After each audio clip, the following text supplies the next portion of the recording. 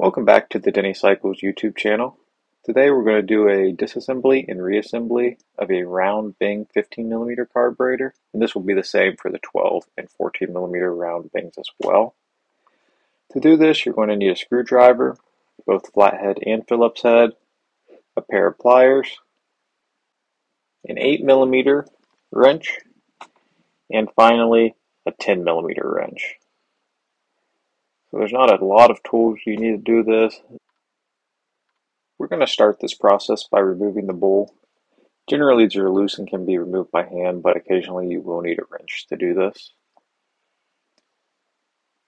Now, moving on from this, we're going to remove the float bowl gasket. And you can use a little screwdriver, pair of pliers, just something to get a grip on it, pull it up out of there. As you can see, we use the pliers here and just remove that, get that out of the way, and then we'll get started on removing the float. You just want to push the pin out with a little screwdriver, get a little bit of that end exposed, then kind of grab on hold of it with some pliers, make sure you get a good grip, and then it'll just pull right on out of there. Now that that's pulled out of there, you can remove the float float needle. It just pulls right out. Uh, the float needle kind of fell off there. That piece here is the float needle. And then this part is called the float. And then that is the float pin. Next we'll move on removing the atomizer. And in this video we're going to remove the atomizer and the main jet together just because that's the way they come out. So when we unscrew the main jet it is screwed into the atomizer and they just all came out as one.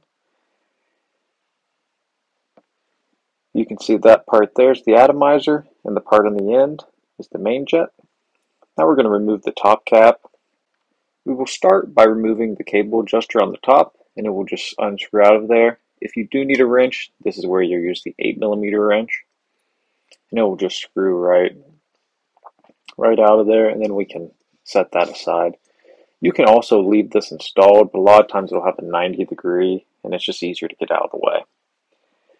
So next we're going to unscrew this top cap. And this, there's two screws on the top. They're going to be Phillips head. And you notice here in the video I keep my finger on the top cap once I get both screws started because there's going to be some pressure on it from the spring. A spring's going to be pushing up at it. So you want to hold that top cap down. And I'll, I'll show you here what what I'm talking about. See how it has that spring that just kind of pushes it up? So you want to hold it down until you get both of the screws fully out.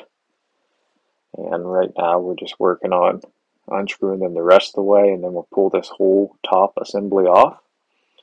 And it usually will all pull out just as one unit, just like that. Sometimes the slide will stay in there, but a lot of times it'll it'll come out.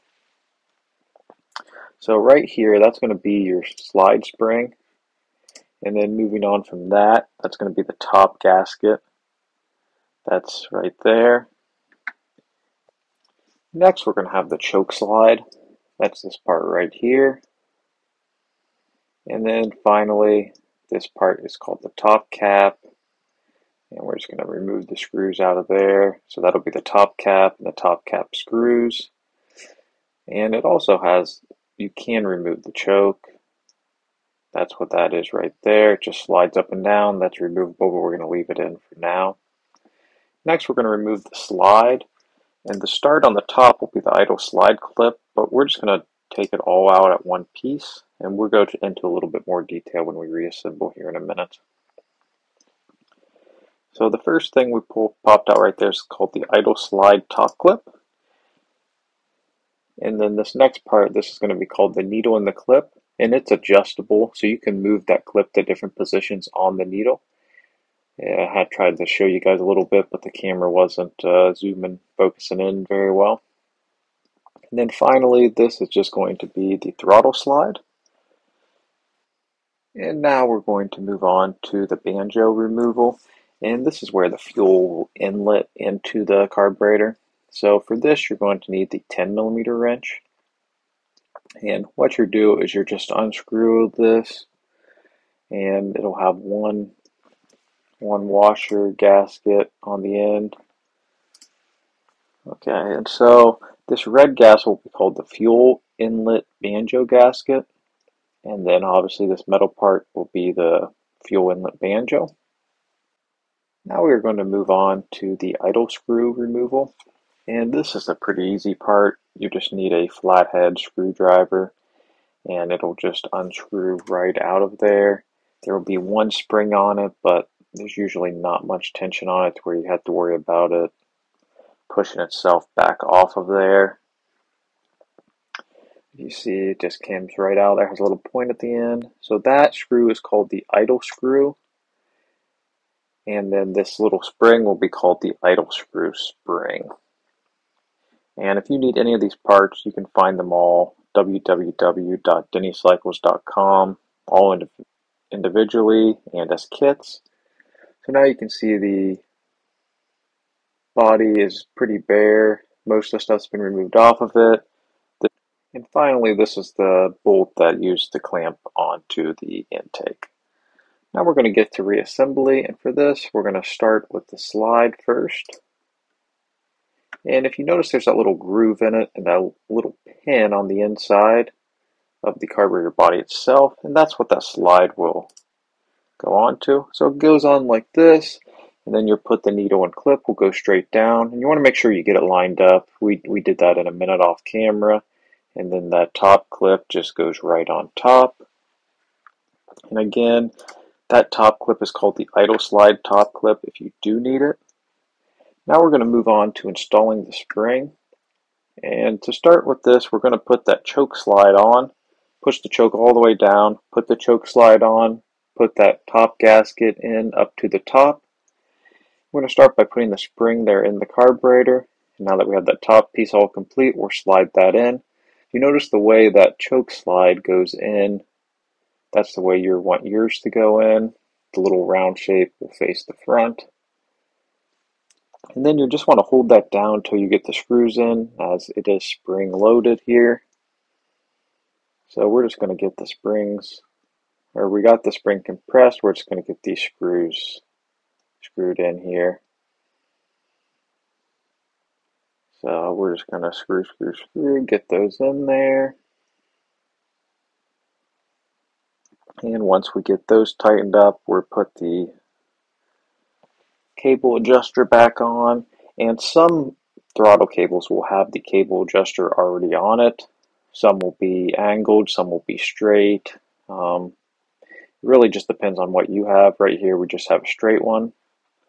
But you just screw that down to where you need it. Then once you get it snug, 8 millimeter wrench to tighten that down. Now that's tightened. Top part's good to go. We're going to start on the bottom. So for here, we're going to start reinstalling the idle screw. This is a fairly easy thing to do. The spring just slides on the screw and then it just screws in right here. And you can adjust this once you get it on the bike to determine how you need your idle to be set. And that black button to the left, that is called the Bing button. So if you press that, it'll fill the float bowl with gas. So if you run out of gas, it's a pretty handy little little trick to do. And now we're going to reinstall the fuel inlet. Just have the fuel inlet banjo on there, gasket. We'll just screw that in. And for this, you're going to need the 10 millimeter wrench. You just want to get that snug. And again, that's going to be the 10 millimeter wrench. Now we're going to show you how to change the main jet. This came out as all one piece, but all you have to do is take a pair of pliers to hold the atomizer. And then you're going to take a flathead screwdriver to unscrew that main jet on out of there. As you can see we're doing here, it comes out of there pretty easily. And then it just unscrews right out of there. So that part in, in our hand now is called the atomizer, and the little part is called the main jet. So we're just going to screw these back together, hold on to it with the pliers again, and tighten that main jet back in there. You can install the atomizer by itself and then put the main jet in after, but we just don't have the small enough socket available at the moment, so we're just going to put it back in the way that uh, we took it out. But again, ideally you should install the atomizer separately and then the main jet after.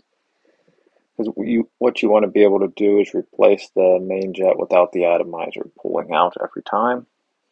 But there you can see we got it back in there and now we're going to get started on the rest of this. So our next step here is going to be to install the float. So what you want to do now is take this float needle and slide it in the little groove on the float. And you have to be pretty careful here make sure this holds in place while you drop it down. The float needle, the tip will go right down into that brass part. As you can see here, just slide it in, everything lined up. Now we'll take the float pin and slide it in the groove here. Sometimes this takes a minute to line up. It doesn't always get in there the first time. But there you go. We got it got it lined up, pushed in pretty easily.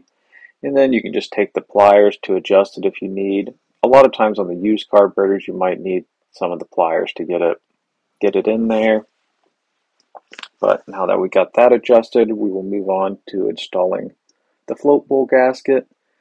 And there will be a groove on the inside that this will sit in, so it's fairly easy to, to get in there.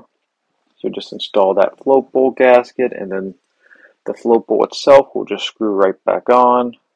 You just got to make sure you get it lined up. And once it's lined up, it will thread right on there. And now the carburetor is uh, completely rebuilt, reassembled, and ready to go. And again, if you need any parts, all these parts are available individually at www.dennycycles.com. And I will also include a link below to that as well. If you guys have any questions, comments, concerns, let us know. And again, this will work for any other round Bing carburetors for Puch mopeds.